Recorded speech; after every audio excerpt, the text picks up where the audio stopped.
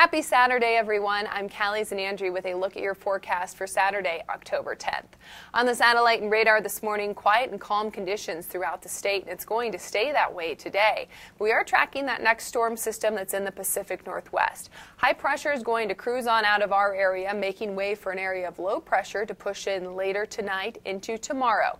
Now, this storm system is tracking a little bit more to the north, so we're not going to see as much moisture as we were hoping from this storm. We'll see more wind than rain in most areas. As we put the future cast into motion to talk about timing for all of this, tomorrow morning around 8 a.m. we'll start to see some rain showers up near the Wyoming border. Then by lunchtime we'll see a rain-snow mix in the northern mountains. We could see one to two inches of accumulation for above 10,000 feet in places like Steamboat. Down here in the Denver metro area, only about a 20% chance we could see a sprinkle or two. Ahead of that rain coming our way, we do have a red flag warning today. That's for the I-25 corridor and all of the eastern plains. Extremely high fire danger because we'll have very gusty winds as well as low relative humidity.